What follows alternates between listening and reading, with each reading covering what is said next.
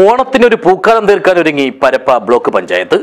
ഇതിനായി J L G ഗ്രൂപ്പുകൾക്ക് നൽകുന്ന ചെണ്ടുമല്ലി തൈകളുടെ വിതരണത്തിന് കോടമ്പളൂർ ഗ്രാമപഞ്ചായത്ത് കാര്യാലയത്തിൽ വെച്ച് തുടക്കം കുറിച്ചു.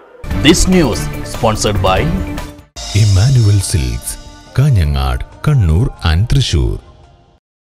പ്രവർത്തന പരിധിയിൽ വരുന്ന ഗ്രാമപഞ്ചായത്തുകളിലെ നൂറ്റി അൻപത്തിയൊന്ന് ജെ എൽ ജി ഗ്രൂപ്പുകളുടെ സേവനം പ്രയോജനപ്പെടുത്തിയാണ് പരപ്പ ബ്ലോക്ക് പഞ്ചായത്ത് വരുന്ന ഓണക്കാലം വർണാഭമാക്കാൻ ഒരുങ്ങുന്നത്. ഓണത്തിനൊരു പൂക്കാലം എന്ന പേരിലാണ് പുതുമയാർന്നതും ശ്രദ്ധേയവുമായ പദ്ധതി നടപ്പിലാക്കുന്നത്. ഇതിനുവേണ്ടി നൽകുന്ന ചെണ്ടുമല്ലി തൈകളുടെ വിതരണത്തിനാണ് വെള്ളിയാഴ്ച ഉച്ചയ്ക്ക് കോടമ്പളൂർ ഗ്രാമപഞ്ചായത്ത് കാര്യാലയത്തിൽ വെച്ച് തുടക്കം കുറിച്ചത്. Block panchayat vice president K Bhupesh തൈ വിതരണം ഉദ്ഘാടനം ചെയ്തു. ഓണത്തിന് നമുക്ക് കുറച്ച് കൊടുക്കാൻ വേണ്ടി കഴിയും.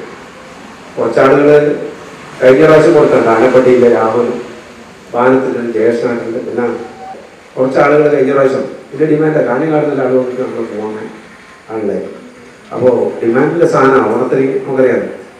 എല്ലാവരും പൂപ്പ് നിർബന്ധമാണ്.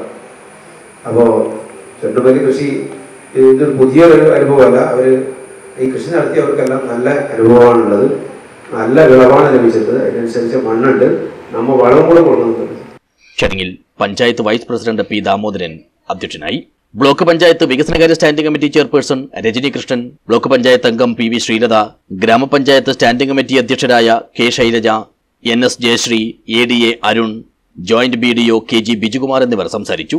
കൃഷി ഓഫീസർ കുമാരി ഹരിത സ്വാഗതവും കൃഷി അസിസ്റ്റന്റ് ടി രവി നന്ദിയും പറഞ്ഞു. News bureau Rajapuram.